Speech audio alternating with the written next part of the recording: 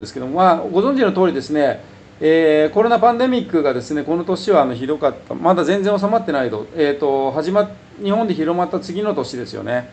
であのその影響を受けながらもですね日本企業があの海外進出をあの展開していったというところが果敢にですね展開している企業が結構あったんですね。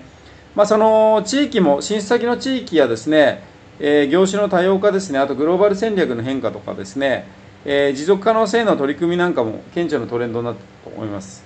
でさらにですね、日本政府の支援策もですね、あの結構、あのうまくいったのではないかと、後押しになったんじゃないかなというふうには言えますね。まあ、あの今後はですね、デジタル化とかイノベーションの重要性が増すというところがありますので、より競争力のあるですね、えー、グローバル企業の台頭というのが予想されると思います。まあ、日本企業はこれからのトレンドにですね、敏感に対応していく必要があるかなと思います。で海外進出で必要なことっていうのも聞かれるんですよね結構。